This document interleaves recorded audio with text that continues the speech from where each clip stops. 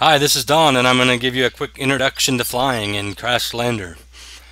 This is the vehicle you've made after crash landing on this lunar research station, and you made it out of junky old propane tanks and spare parts, so it's it's a pretty wonky craft. It's it's kind of at the whims of gravity and uh, whatever skill you can muster with this uh, crazy control scheme. Uh, the controls were inspired by a game called QWOP. Uh, if you've played QWOP, you'll know what you're in for here. A little bit of frustration and a lot of goofy fun. if you're not, I, would recommend looking that game up. Just QWOP into Google and you'll find it. You'll see what I'm talking about. so the first thing you want to do is to make sure that your keyboard is compatible with the default key setup because you have to press multiple keys at a time, like four keys at a time sometimes. There's six different thrusters on your craft and you have direct control of each one of them. So find the default keys W, S, I, and J and just press all four of those keys. And if your craft goes straight up in the air, then you're good. If it's going crooked or off to the side or anything, then it most likely means your keyboard can't read those four keys at the same time. But you can try the alternate key set, which is both control and both shift keys, which do the same thing. That should work on most keyboards. There's also a fifth and sixth thruster on the side of your craft that will rotate it left and right. And that's the O and the Q keys. So you can see your fingers just kind of lay across those keys naturally if you put your middle fingers on W and I. So the basic flight technique I would describe as float and nudge. You kind of want to get your craft floating tilt it the way you want to go by using just some of the thrusters then fire all four thrusters again to add a little forward momentum. And then you just kind of want to float. There we go over to this pad.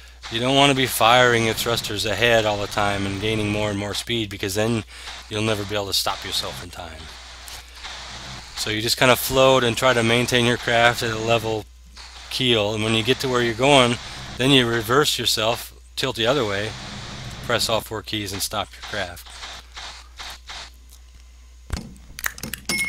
So that's the basic idea. The faster you go, the harder it is. But the, once you do get a hang of these controls, there you can do a lot of crazy stuff. You can barrel roll and do backflips and do all kinds of crazy sharp turns. You just have to kind of get a feel for it.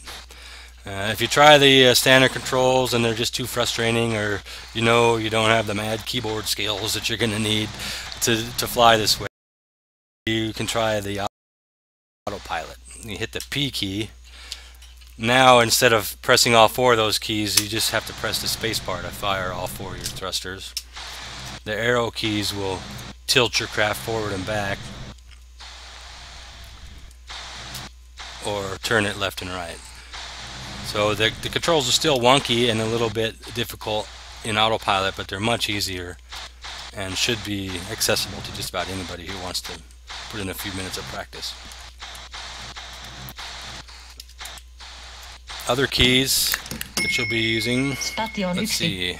The R key is important. That restarts the level. So anytime you crash upside down or you lose a tank or you just want to start over, just hit R.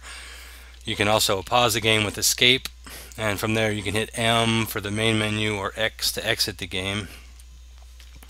There's a second camera uh, up uh, view from above your craft for a different angle on where you are. There is the T key which kind of fun. It's just kind of some eye candy. Turns on a, a trail effect. And on the HUD up here you should see oops, on the HUD on the upper left is a circular area with an LED and that shows you the direction to the next pad so uh, the game does have some goals beyond goofing around and having fun uh, you need to find these three landing pads with the red lights and land on them to activate them. And once you've landed on those three, the final pad will activate. You can land on that to win the level and get your final time.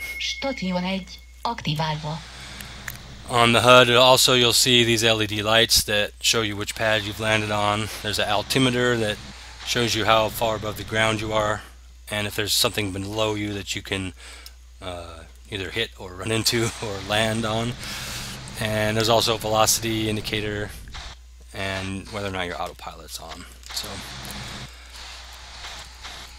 yeah, I think that covers the basics. Um, please do give the default controls a try, even though I might have scared you away by saying how hard they are. They're a lot of fun after you get used to them, and basically that's kind of the point of the game is just to learn how to fly this thing and then just goof around with it. So do that, and uh, let me know what you think. Go to crashlander.com. Uh, leave me some feedback with ideas for the game or what you might change, what you liked about it, and uh, I'd love to hear from you. I'm still working on this game quite a bit. There'll be lots of new stuff to come in the near future. So thanks a lot, and I will talk to you later.